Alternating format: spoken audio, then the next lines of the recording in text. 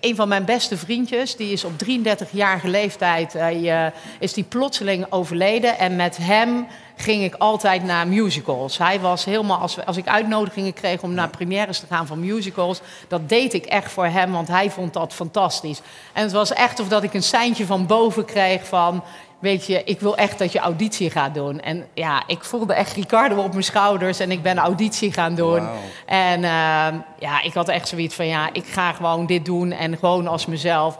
En eigenlijk na, na vijf zinnen zei ze van, ja, wij willen gewoon dat je, deze rol is echt op jouw lijf geschreven. Je mag gewoon jezelf zijn en je bent gewoon gelijk lekker jezelf. En, uh, wat, ze niet vroeg, wat ze niet vroegen aan haar was, kun je een beetje zoenen?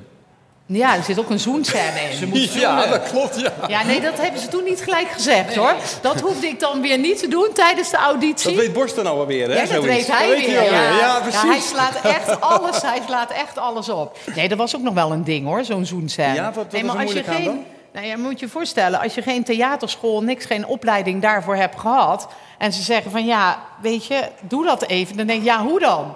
Je bent al 25 jaar met dezelfde man en ga maar even zoenen met een... Uh, ja, jij hebt ook wel eens geen zin thuis. En dan maak je er ook... Uh... Hij zit daarachter, hè? Michael zit daarachter. Schat, ik heb altijd zin. Altijd zin.